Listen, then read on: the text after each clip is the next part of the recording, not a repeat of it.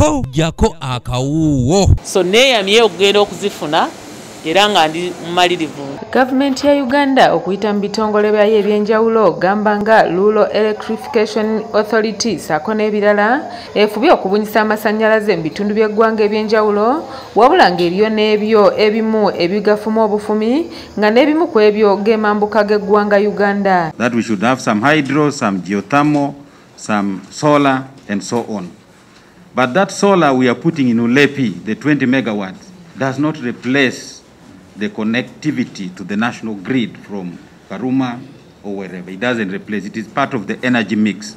Embeera y'ekibululu ebuutikidde amambuka esitudde ababaka abakiikira ebitundu by'eyo okuyita minisita avunaanyizibwa ku by'amasannyalaze n'enkulaakulana y'obugagga obw'ensibo honorable ruth nankabirwa okubabuulira gavumenti kiki ebalowoozaako ku nsonga eno Because the last time the minister, your, your, your state minister promised us that that document would be given to the leadership of West Nile Parliamentary Caucus and the regional whip.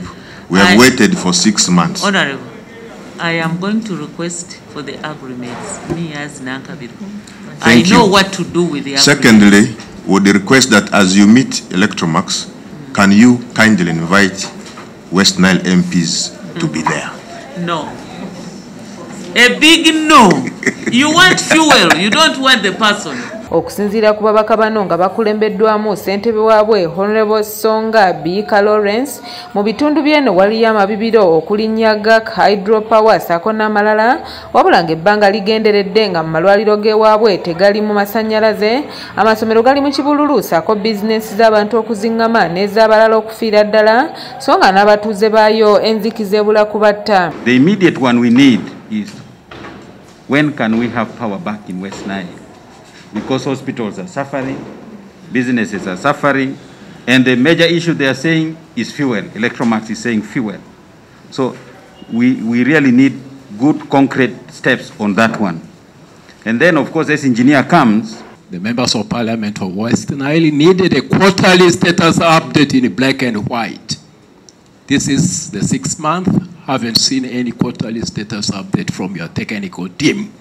Number two, on the rural electrification program that has been taken now to the mother ministry, we need the clear road map. bano minisita nankabirwa abagumizza nti abantu b'omu mambuka essaawa yonna amasannyalaze gakubatuusibwako nga singa gavumenti enerema okuzimba ebibiro e kaluma ejja kusobola okujja amasannyalaze mu kitundu ekyekawanda abantu b'engulu basobola okwaka embeera eringa kugamba nnungi nga bwe yategekebwa nga tukola ekkolero ly'amasannyalaze oba ebbibiro ly'amasannyalaze eriri ku mugga gwe bayita nyagaaka eryo lyetooloddwako ensonga era mbagambye ngenda kugendayo okwongera okumanya kiki ddala ekyaleetera e- a- e- ekkolero eryo oba ddaamu eyo eyanyagaaka okuba nti yakolebwa okukola amasannyalaze 3.5 megawatts naye nga tetufunangako 3.5 amasannyalaze ago matono ddala. Minisita nankabirwa era akakasizza ababaka bano ng'olukiiko lw'abaminisita olw'oku ntikko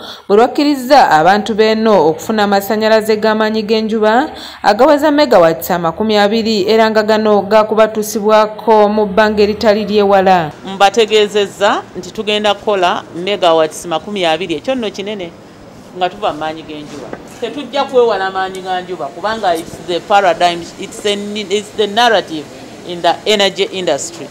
Oteekwa okuba nga ogattagatta. Omugga bwe gweyisa obubi nga maanyi ga njuba akuweereza. Ensi zonna bwe zikola okay so abamu babadde tebakitegedde naye abasinga obungi bakitegedde era ne bampa amaanyi okugenda mu maaso n'okudevelopinga power plant eno ndi sara abs tv jakakawuwo Other regions are put on the national grid. West Nile is put on an unreliable, sustainable source of power.